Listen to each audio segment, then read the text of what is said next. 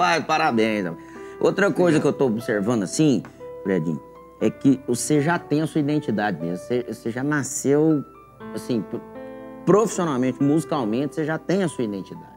Porque, assim, é, às vezes um, um cara faz sucesso, aí todo mundo vai na linha dele. Claro, né? Com, com grandes méritos, que grandes artistas aí, todo mundo É, como veio lá de trás, o pessoal da linha do né? Tião Carreiro, depois É. todo mundo imitava o Zé Rico, depois todo mundo imitava o Zezé, depois É. todo mundo imitava o Jorge. é desse jeito. Mas você já tem a sua identidade. Ah, Isso é, isso é bom, né, cara? Não, ah.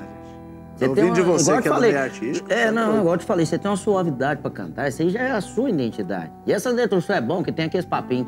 É sério, é lá. E tá, tem E as, e- caídas, é, né? Fala uma bobagem bem pequenininha. Bem, bem de leve, né? Só pra dar uma pimentada, né? Ê, velho, mas eu fico muito feliz, viu, cara? Sua carreira aí, realmente... Raiz você tem demais, né? Você, você ir pra frente aí. E, e outra coisa que você sabe o que, que você tá fazendo. Graças a Deus, né? Você sabe o que você tá fazendo, porque da escola que você veio, meu amigo, são poucos que É tá tendo aquela, aquela escola que ou se você faz, então a pinhola come. É, aí apanha de verdade. ou aprende ou aprende, só tem duas, né?